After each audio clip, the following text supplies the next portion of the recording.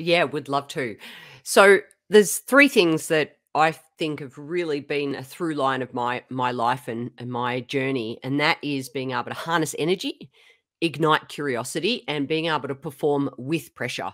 Uh, peak performance, my background in tennis, high performance tennis, has been a huge part of uh, unpacking that and what that means for every or, everyday ordinary person, which is which is me. I feel like I'm an ordinary person living an extraordinary life because of uncovering little things like that that then you can have practical strategies to be able to implement in your life. So they're, they're definitely three things that have been a huge part of me taking action and that that's you know i always say talent is not nearly as important as execution so and i know that you live and breathe that i love your podcast so i'm so excited to to unpack those things with you yeah so let's let's dive into number one right mm-hmm. harnessing energy what are some practical tips that people mm-hmm. can do to do that and follow-up question were you always like that related to energy or did you have to develop and cultivate it over time hmm So the the one that I use with my clients quite frequently is just an energy barometer check-in.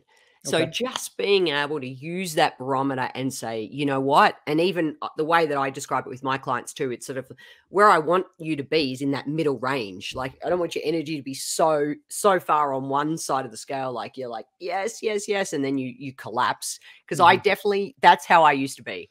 So I, as a speaker as well, I just put so much effort and put so much pressure on myself whereas now uh, i mentioned earlier perform with pressure has been a huge just reframing that in itself has been a huge uh, uh, hidden secret. And uh, for me it's it is a it's your energy introduces you first. It's okay. it's like i call it an energy signature. So being able to be aware of what your energy signature is and where it needs to be in certain uh, aspects of your life, home versus at work, for example, mm-hmm. at the gym, uh, and knowing what that that means for you authentically because energy is not you know rah rah rah rah rah. It's of course it is the energy that we that we bring. And you know sometimes we're a magnet and sometimes we're a shield and sometimes we need to put up that shield when we have our energy vampires around us. So i i work a lot in topping up energy and uh pe- understanding when um, your energy is being trapped.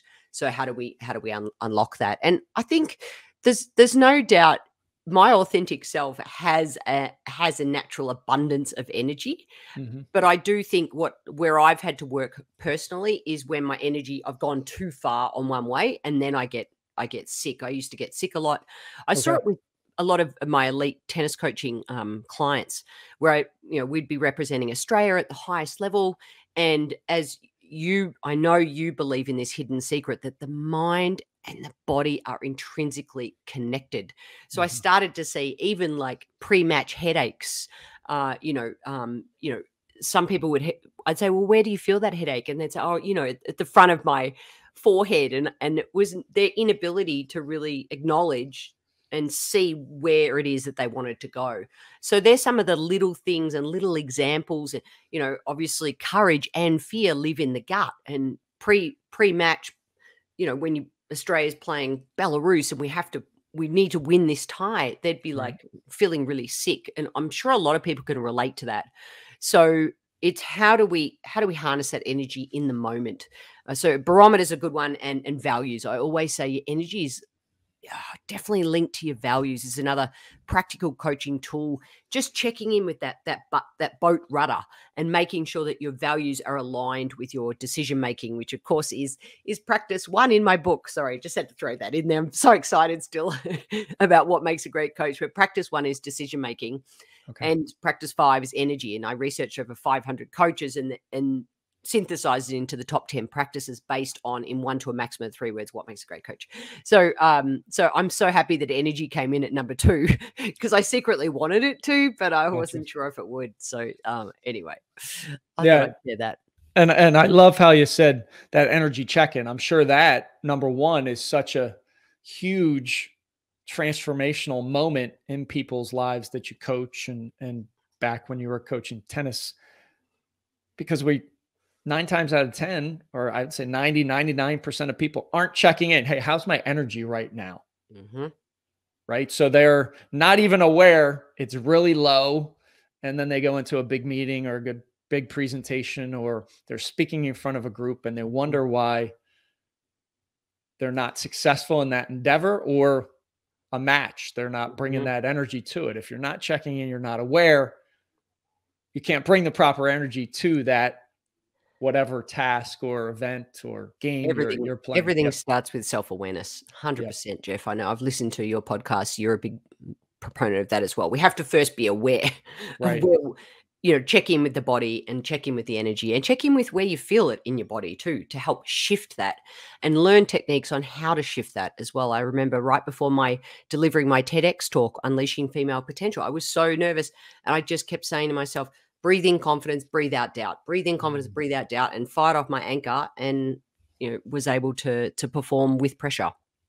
I, I love that. And I go back to I was like 10 years old and I couldn't couldn't get on the basketball court because I was so nervous. Like I just couldn't get on. I was sick to my stomach. I wish I had the tools and strategies I, I do now, but what you just said before your TEDx talk, so powerful. And and it brings me to I meditate with my sons every morning before school and we breathe in and I say, in with courage, out with fear, in with confidence, out with nervousness. And it's it's that self-talk, it's that programming that we can do that have such a it has such a tremendous impact on how we deliver and how we transfer that energy, that nervous energy into excited energy, and then we're able to to succeed and, and attack it the way we truly want to. Yeah, and reminds me of another uh, client story around. This is one of my mentors worked with this with this um, person who was feeling, you know, really like they they just couldn't have the courage to to take action in direction of the goals and the you know what they really wanted. And he's like, "Well, where do you feel in your body?" It's like, "Oh, it's in my gut." And, okay, well, what color is this? Black. Oh, it's actually black crows. And and so she starts describing these black crows that are just like eating away at her guts. Hmm. And then he he with her in through a beautiful guided sort of um, meditation visualization, he he helped turn it from black. You know, what if they were white? And then you know, hmm. what if they had wings? And you know, and then they're little beautiful these white angels that then shift from the front to the back of the spine to be able to help her take a step forward. So I just wanted to sh- share that of one of my mentors, and I love that story because it helps me with my clients too. And and everyone needs practical strategies. I'm big. You can't just go, oh yeah, I'll, I'll take action. I've got courage. I'm I'm courageous. There needs to be that associated anchor or practical uh, element to it to help everyday people like I need it just as much as anyone else. So, and you and I spoke about that on my podcast. Yep. I remember I said, Are you always this happy? I'm not. And that's when people are like, You serious? And I, I, I told you on their podcast I was voted biggest complainer my my senior year in high school. And people are like, Are you serious? Yes, it's not where you start, it's where you end. And you've got to have these habits, these rituals, self-talk, Mm. things where you can shift a perspective, have an awareness is is so important. So let's get into curiosity because I think curiosity is so so important and many times we're curious when we're growing up, right? We've got this mm-hmm. insatiable curiosity of finding out how to do things. But then we get to adulthood and many times that curiosity is just switched off maybe by uh, having negativity all around us in the news, media, people in our network, but curiosity. Dive into that a little bit. Mm-hmm. Why is it so important? What are a couple ways you cultivate that in yourself on a daily basis that people can put action to? Yeah. So, uh, well, 100% agree. My story definitely is that. So I was a my you know, I was been a coach since I was 14. It was my first part-time job after my paper round, right? And then so I I was coaching at quite a high level for somebody in in her 20s and all of a sudden I was like I don't want to look stupid like I don't want to there's all these amazing coaches in the room so I had all these questions and all these thoughts but I didn't um, from through sheer fear of not wanting to say the wrong thing or that's not how you develop a player and and betting cut down and, and also having the experience of where you do say something and you do get cut down and then your self-fulfilling prophecy actually comes comes to reality so my curiosity was definitely suppressed but interestingly i still did things in my 20s for example just left Australia, didn't have a job in Florida, and I just rocked up. I wanted to learn from the best coaches in the world. Even though no one rang me back, no one gave me a job, I just knocked on the door and said, "Can I stand on the court of the greatest coaches?" Because you know Florida was the mecca of tennis back in the the day, and mm-hmm. can I learn from the best of the best? Because and do I see what they see? So even though I wasn't outwardly curious, uh, um, curious inwardly, I was still super curious. So I just want to say that because I think that's important. Sometimes, yeah, you might not want to uh, say something in a in an audience but continue to harness that by asking great questions. Mm. Get the best of the best, find the best of the best, and dead or alive or, or through a podcast, it doesn't matter. It's about finding those people because I always say confidence equals time plus experience. Now, we can short circuit time because quality time, of course, mm-hmm. but we can short circuit the experience of others people wherever you want to go or wherever you want to be i'm not saying you need to be like that person but you can short circuit their experience add it to your own strategy toolkit your your personal toolkit and see what works best for you and the best way to do that is ask questions. We have two ears and one mouth for a reason. The more we can get curious with the way that we ask questions to you know i wonder how you did that I love I wonder questions and possibility questions and imagine if questions and learn the look questions. Do I see what you know that coach saw or that's I mean that's my example because that's that's what I was you know I'm I'll never stop being curious about how the best coaches in the world do what they do mm. because as in my book, I called that my chapters practices. They're not right. chapters. And it's not best practice, it's just next practice. It's an evolution. We continue to move forward in in practicing what it is that that that is critical to our own uh, realm of curiosity and just just not letting things like the FOMO and imposter syndrome and meritocracy get in the way. So uh, so I, I I think curiosity is one of our superpowers and I, I love how you said asking questions, and I wonder how, right? You frame it up in in that manner, and I'll I'll share an experience where there's the Man in the Arena Tom Brady series, and uh, I used to when he was on the Patriots. Not a huge fan because I was I'm an Eagles fan, and and you know we battled in the Super Bowl. Luckily, we beat him, but uh, I, I I'm watching the series now because I want to see what I can gleam or I'm curious of how he developed into the best of all time. I've got a son who's a quarterback. I'm like, why not watch this and see? And, and so many times there are nuggets and powerful pieces of wisdom that you can find from people and then you can implement in your life because those mm-hmm. that have been in at that level, they've gotten there from for some reason. And if you can take something from it, you're just going to be better, better for it for sure.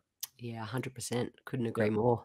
Yep. Awesome. All right. So we hit energy, we hit curiosity, performing under pressure or with pressure. Let's yeah. dive into that one.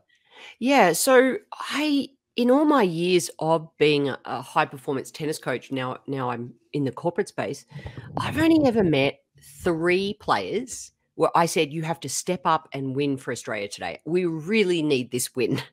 like this is a critical match. If we don't, we're going to be relegated to Group B, and then we're going to, you know, next year we're going to start all over again. Three, three players, and even for me to understand uh, those three players, that took a lot of time to be able to say, "Hey, we need to step up. We need the win today."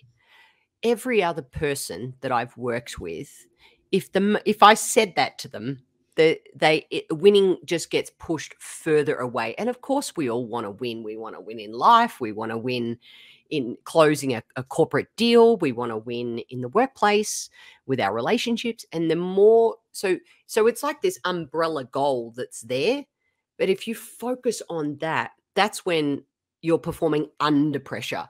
You can almost feel that pressure coming down on your shoulders. Gotcha. So if we can reframe pressure and work, embrace it, and that's why I love with pressure and that's not mine i i i took that off somebody uh that i was on an instagram with he's like oh with pressure and i'm like i love that i'm taking that totally um because that, you know that's how we all learn that's another example of i'm just you know we're, we're building off each other i've, I've i love uh, rise fight love repeat i'm like inspire improve impact repeat i'm like i'm yeah let's get up and do it again love so, it so uh so with that it's the way that you set up with the situation and uh and in my book um a, a very former world number one uh, Mats Wilander, he talks about uh I said, What makes a great coach? And he said, In the moment, right? Mm. So, yes, in being in the moment, being present, being able to have the tools and the strategies to be able to just fully focus on whatever you need to in that moment. So, what can I focus on and what do I choose to focus on? Because it is a choice. And I'm a right. huge believer in, in building that in young kids all the way right through building their decision making skills so that you can be present and perform in the moment. Make no mistake about it. The minute the mind goes into the past, the minute the mind goes into the future, right? That is when the the performance comes under pressure rather than embracing and going with pressure. Uh, so that is really, really critical. It doesn't matter what you're doing. I'm such a believer in this, and I've seen it work time and time again. This isn't, you know, this is someone who's been coaching for over 30 years. I know, okay, I don't look that old. Oh, it's an audio podcast. We're okay.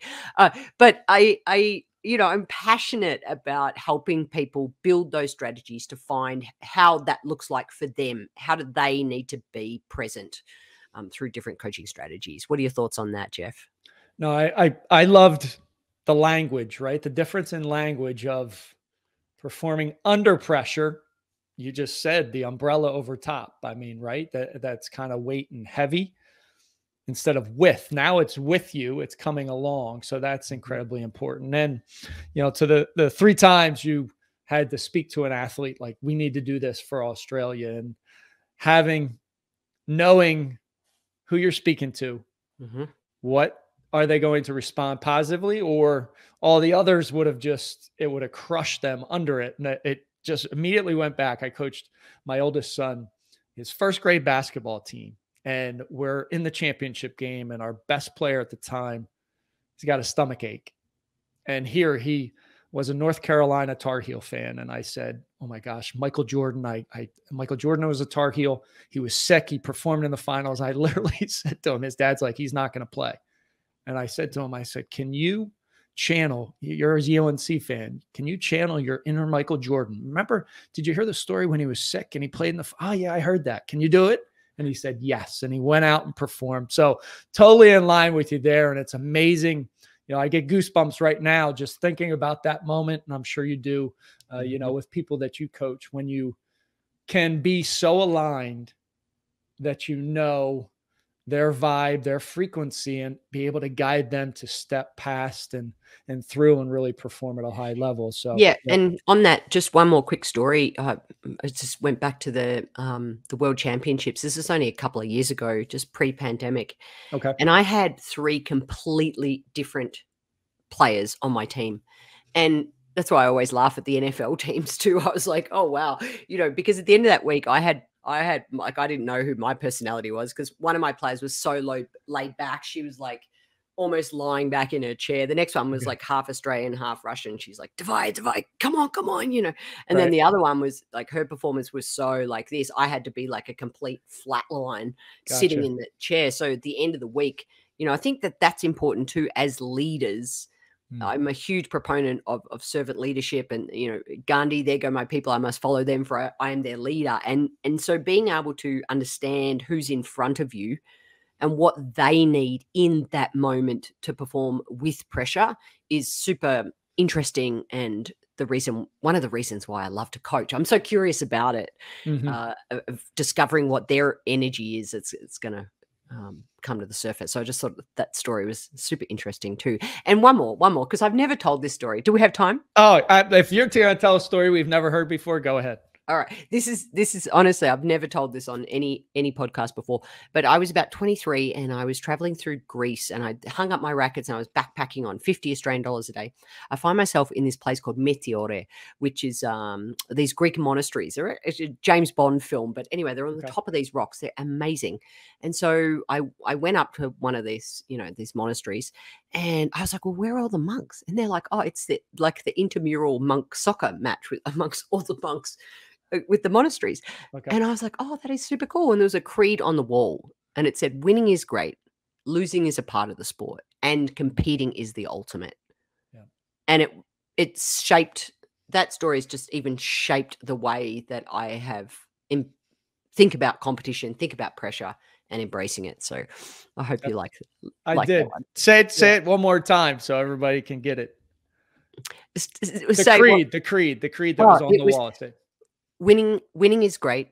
Losing is a part of the sport, and competing is the ultimate. Hmm. Yeah. So so so, so I had incredibly. that translated. Obviously, it was in. It wasn't in English, but I said, "Well, right. what's that? What's that on the wall over there?" I was like, "Oh my goodness!" I was like, "That is gold dust and i just thought of that story recently i hadn't because it's been such a natural part of the way that i coach that mm-hmm. hey competing that's that's the battle is is where it's at that's the fun mm-hmm. part and uh you know i, I hope everyone um yeah can take something out of that and, and apply it to their own personal toolkit no, I, I love that. Thank you so much for sharing that uh, that mm-hmm. story that you never shared, and it takes me back to you know being a dad with my 2 mm-hmm. boys. And the other night at dinner, I read them Theodore Roosevelt's "Man in the Arena" speech because it was like, right, it's it's who is in the arena that counts, right? So uh, totally aligned with you there, Emma. This has been an amazing interview. Where can people find you? Where can they find your book? Yeah. So uh, if you just go to Emma Doyle, my name, E W M A D O Y L E dot com dot au because my mum always says remember to come home to australia every once in a while i'm based out of denver colorado uh, with the book they can just go to whatmakesagreatcoach.com uh, and please reach out if I can be of service or you need an energy speaker. Jeff and I are in that space together. And uh, I look forward to connecting with uh, anyone who's interested in harnessing energy, igniting curiosity, and performing with pressure. Awesome, Emma. Thank you so much for being on the show. Thank you, Jeff. I appreciate you. Thanks, everyone, for listening. Thanks for watching. Have an amazing rest of your day. Rise, fight, love, repeat. Get after it. And I'll talk to you soon. Get after it. Thank you for listening to your Hidden Edge podcast. You are now part of the movement, part of a tribe who's on a mission to uncover their hidden edge. We're stronger together, so please share this. Show up with one person in your network that you want to help. Together, we can empower others, and connected, we can make a dent in the universe.